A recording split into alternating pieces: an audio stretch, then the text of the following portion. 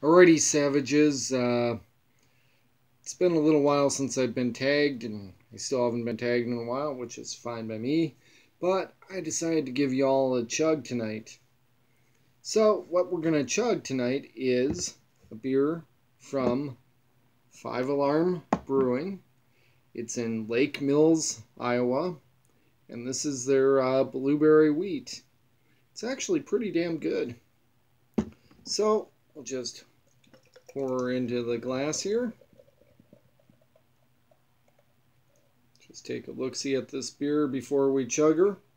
Yeah, it's got a nice, clear, slightly reddish, kind of looks a little like wine almost, you know, wineish, white wine color. Um, nice carbonation, maybe about a quarter finger head, white, frothy, fluffy you know, it's a good beer. Good beer from a good brewery in Iowa. So, time to chug her. Cheers, everybody.